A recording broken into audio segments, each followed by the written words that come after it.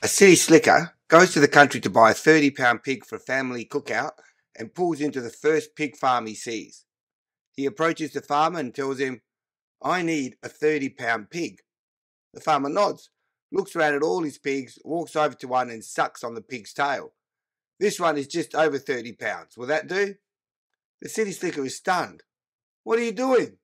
That's not how you weigh a pig. Don't you have a scale? The farmer insists that's how they've been weighing pigs for generations. He offers to have his son verify the pig's weight. Hey son, this fella wants you to weigh this here pig. The boy approaches the pig, sucks on its tail, just over 30 pounds, pa. The city slicker is not impressed. What kind of con are you trying to pull on me? Don't you people have a real scale around here?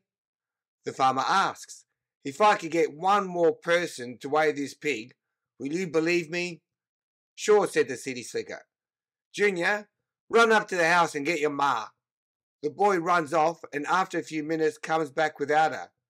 Boy, I thought I told you to get your ma. Why didn't you do what you were told? I tried, Pa, but she was busy weighing Uncle Billy.